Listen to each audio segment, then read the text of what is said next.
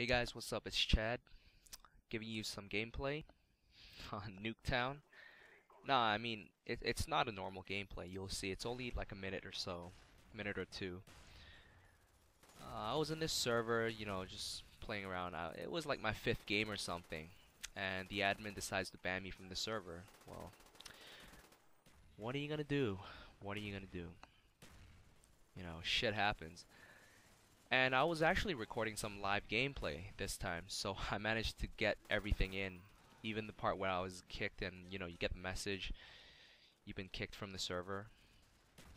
And um, just before I got kicked, I got a glimpse of, of the console saying that it, it has banned me, so, oh well, you know, shit happens.